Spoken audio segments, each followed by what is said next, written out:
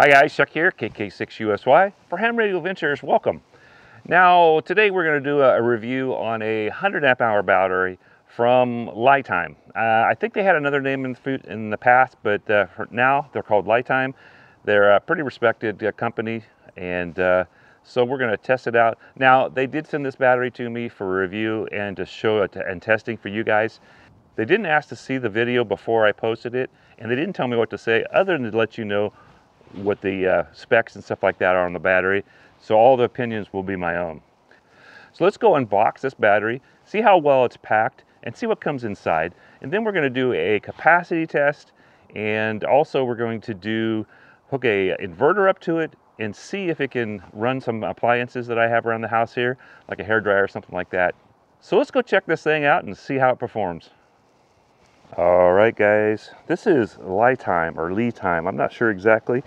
I do believe they changed their name. I don't remember what it used to be, but I'll try to find that out for you guys, just so you know if you already have a battery with the old name on it, you know that it's the same battery. Okay, there says Life and Discovery must be their logo, has their uh, where it's made and all that stuff in their website. Box has all the appropriate stickers and again looks like my shipping company, the shipping company did a nice job. It's the box is pretty much intact. I don't see anything wrong with it. Let's open it up and see what's inside.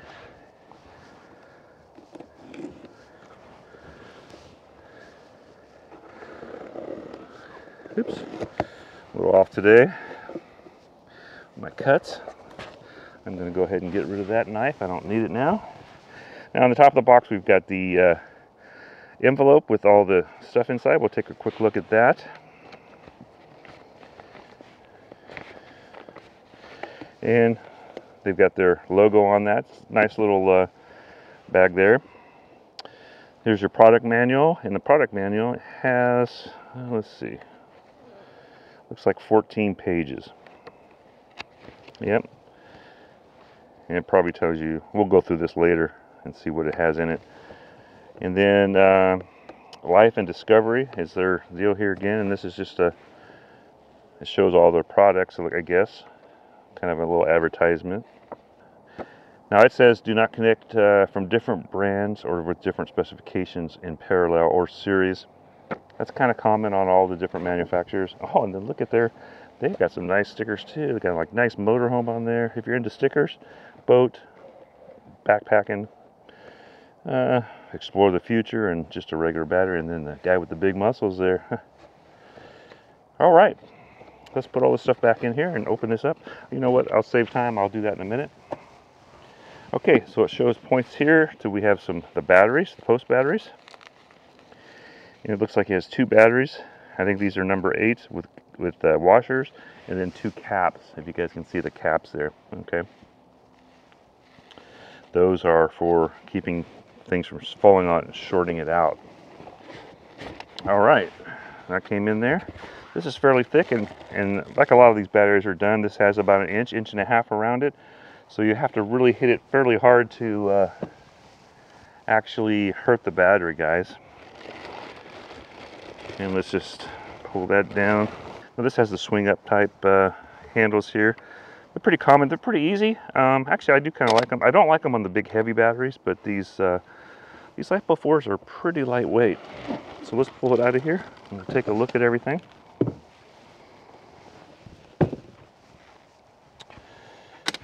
Let me turn it around for you guys, the right side up there. And there we go. Now, let me push it over this way a little bit. Okay, so on the top here it has your nominal voltage, 12.8, rated capacity, 100 amp hours, rated energy, 1280 watts hours, charging voltage is 14.4 volts. Max continuous charge discharge current is 100 amps. And surge discharge current is 500 amps. That's pretty high. I don't think I can test that all the way out, guys. Now, on here it says download the app. So there must be an app for this. Um, I looked at, they, they contacted me a while ago and I didn't, I looked at it then, I don't remember what it is. So it has Bluetooth, so we're gonna test that also. See how that works the front of the battery. It's got some nice graphics and stuff on it. Uh, it just tells the specs, 12.8, 100 amp hours. They're calling this a Group 24. I don't see that on a lot of batteries, but that's like the smaller RV type size. But with 100 amp hour in a LiFePO 4, you're getting 100 amp hours basically, compared to 50% of a lead acid. Let's see what the back has on it. Okay, the back has uh, some cautions, do not do's. I guess this is where we're going to get our um, our app right here with our phone, and it has the all these other stickers that most of these batteries have, and it says made in China and lifetime. The size of the battery, they don't have anything on; they're just black. Let's measure this and just see how big this battery is, guys. Let me turn it back around for you so we can put that as the front. So across the top, we are 10 and 1 quarter inches. Front to back, we are 6 and 5 eighths. Okay. And then top to bottom, about 8 and a quarter inches. And then maybe add an extra quarter, so 8 and a half if you add these as the actual height, because that is actually, eh, it's not quite a quarter inch, but we're just going to call it. So, so instead of 8 and a quarter, we're just going to call that 8 and a half. All right. All right, let's, uh, we got to charge this thing up. They come about 50% to 70% charged, and that's by law. So uh, for shipping, so I'll charge it, and we'll start doing some testing on this thing, guys. All right, now we're on uh, Lifetime's webpage here, guys. Uh, up to 50% off right now, March 15th to the 25th. So we're in that time period if you're watching this video when I put it out. It's spring Black Day, Black Friday. Say more on the official store here, guys, and it's just showing a bunch of their batteries here. And then they also have a 48-hour flash sale. You may not make this as one day, 16 hours. I might get this out before that, but uh, looks like this is on their uh, um, batteries that they're making for like uh, trolling motors and stuff. If you notice, these have uh, the thrust down here. It's 30 to 70, 70 to 100, 80 to 120, and 30 to 70 again over here and 12 volt, 24, 36, and 12. A lot of these uh, trolling motors run on higher voltage, so and usually you have to like hook batteries together to get it. But they're showing here that you can instead of hooking two twos together, you've got two and a 200 amp hour battery at 24 volts, guys. So that's that's that just makes it easier on you, uh, not to have a bunch of extra wiring and stuff. And then you come down here to their. Uh, this is the batteries section that uh, I tested here. We're going to look at the, the one I tested in just a second here, but I just want to go through their page. And they have various different batteries. You guys can stop this at any time and or pause it, I should say, and check it out. And then it looks like they have stuff for uh, golf cart batteries too. So you, if you guys are into golfing and stuff, and, and, these would have probably more current, be able to handle more current. This says at 60 amp hour, 100 amp hour, 30 and 60, but they're 51.2, 51.2, 36 volt, and 36 volt. And then they also have, they sell the chargers for these things. And what's nice is if you look at this charger, it has like a, a really nice uh, Anderson power pole type setup. The heavy duty one is like, I think this thing is 50 amps or something like that. Don't quote me on that, but it's pretty close. And they just have various sizes. Um, like this is a 48 volt, 12 volt, 10 amp. Uh, these were 12 volt up here, 20 amp. I don't like to charge too, like, here's a 12 volt 40 amp. Now, if you have a really big battery, like a 300 amp hour, that would be great. Um, your hundreds and your 50s, I would stick to the 20 at max on those guys. All right, so let's go up and look at the battery that we tested. And that battery is the 12 volt 100 amp hour Bluetooth. All right. Now, hopefully, we'll have a chance to uh, look at the Bluetooth part of this. I, I'm I don't really use that kind of stuff very often, so we'll try to take a, a quick look at it. They do want to track things, and I, I'm not a big fan of that. Uh, if I have a Bluetooth, uh, so if I have like a Bluetooth app, I'd rather not be tracked by everything that I check. But uh, that's something that I've heard that they're going to try and uh, take off of there eventually, and then maybe they have by now. I don't know. So this is a lifetime 12 volt 100 amp hour group 24. Group 24 is a smaller like RV type battery guys size wise. A group size like a group 24 is this big. A group 27 is like three or four inches longer. They're all about the same height usually. So it has uh, Lifetime's latest invention. Now this battery also, and we will test this in this video and see if this works, it has a low temperature cutoff. And the way I'll end up doing that, we'll show you later, is I'll stick it in my, my freezer in the house here and uh, get it cold enough to where it will cut off. Now my charger shows uh, in a float mode or something like that when it's not charging, but you'll see that it actually does cut the voltage off. And then when it warms up, it you know starts charging again. So they're saying the grade A Life, LiFePO4 cells, 4,000 plus cycles at 100% duty cycle. Now, a lot of these batteries, after the 10 years or after the duty cycles, they're still at like 80%, which is still still better than most lead acids um, at full power, okay, or at, at when they're brand new. Because lead acids you can only take down to about 50% before you start hurting the battery, guys. These you can take them down to their, it's a set voltage that they bring bring them down to, and that's safe for the battery. And then it cuts the BMS will cut that off the battery management system. Okay. Group 24 size, 75% size, 200% the energy. It's still it's still a 12 volt 100 amp hour battery though, guys. Okay. A lot of times your your Group 24s will be a little bit less than your Group 27s or something like that. And I'd say their regular size batteries are probably equal to like a Group 27. 10 times the charging efficiency.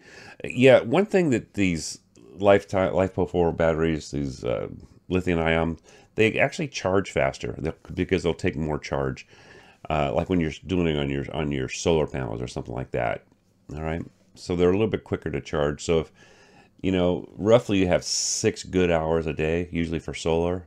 And believe me, if you don't have enough solar, you're never going to get your batteries back all the way up. So you it's always better to overdo your solar because 100 watt solar panel is probably going to get somewhere in the 80 85 if you're lucky 90ish okay so when you start doing that kind of look at that now right now this is on sale for 359 regular 579 uh, there's a code here for $50 off. I don't know. I'm, I'm, probably gonna. I should have a code in my description also for uh, to to use. And I and I, I I'll join their affiliate program, so I will get a cut of that. But it doesn't cost you guys anymore. It just helps the channel. Okay. And let's just look at different pictures they have here. I already gave you guys the dimensions, but here they are again in writing. All right. And here they're showing how it it uh, cuts off at uh, see oh, stop discharging at minus 4 degrees. At less than 32 degrees, it'll quit charging and it resume charging around 41 degrees. And this just shows the makeup of the battery. And they're showing you how to charge it and what showing you their chargers and stuff. Uh, max max continuous charging is 100 amps, and that'll fully charge the battery an hour. If you have the time to charge it slower, charge it slower, guys but you can. They're just showing that you can charge it really fast. I don't think they even recommend 100 amps at a time, okay? All right, so that was the site. Like I said, there in the description, there should be some links for you guys, so make sure you check out the links. All right, let's get back to testing this battery. All right, we got the Lifetime uh, LiFePO 12.8 100 amp hour battery set up to the tester. I'm going to plug it in already have it set at 10 amps, guys. All right, so I've zeroed this out, and we're at 12.9, 10.1 amps. So it should take about 10 hours or so. So we'll be back when it's done. All right, guys, so I've got the battery hooked up. This is the Lifetime 12.8 LiFePO4, 100 amp hour. And it's a group 24 size, so it's a really small one. We've got some other things that we're going to show you later on this, like the uh, it has an app that we can check things out. Check that out. We're at 13.57. Got a heater here that usually runs around 7 to 800 watts on low and then 1500 on high. I have a 1200 watt amp peak inverter. Now this inverter only goes to 12, so when I push this to high, we should get an alarm and that should kick off. And then we can restart it and everything, okay?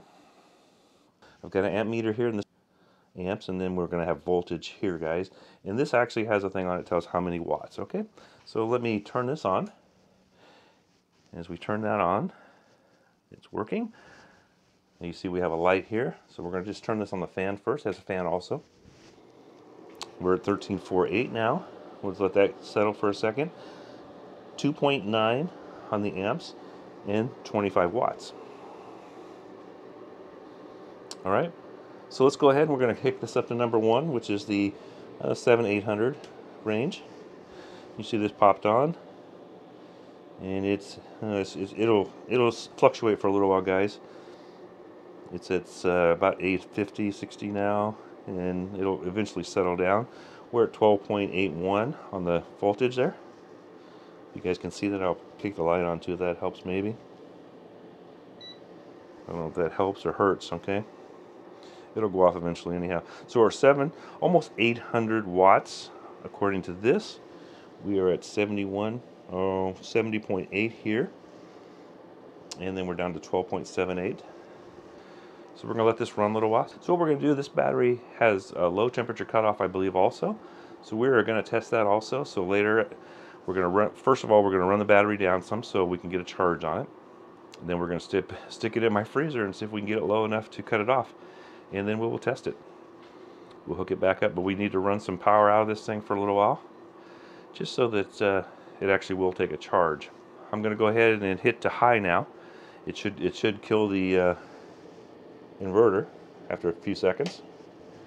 And we're already up to 1230, 1345. And as you can hear, it set that off, so I have to turn that off. Let me turn this down, turn this all the way off and then we'll turn this back on. We are at 13.16 now. Is that what it says? Yeah. Okay, now we got 3 watts here, so everything's running again. We're just going to run the fan for a second. All right, we're down to 13.18 still. 2.9 on the amps. All right, let's turn the heater back on so we can run this down a little ways. And we're peaking uh, we're up in the almost 60, 65, 7. It's going up. It should go back down. It's like 83, 84 now. Now it's working its way back down. We're at 800 and 800 and about 800 watts right now. It's just now hit 800. Now it's about 780. I think that's where it's going to level off somewhere around 750 or so. Okay, so this is what I had to do, guys, to uh, get the Litime to uh, have it cut off, put it in my freezer for a couple hours. There we go. Okay, so here we go. Let's open this up. And see it's on bulk charge and it went to absorption charge. This is Litime battery, as you can see, guys, the uh, it's in absorption mode now, which means it's not charging any amperage in.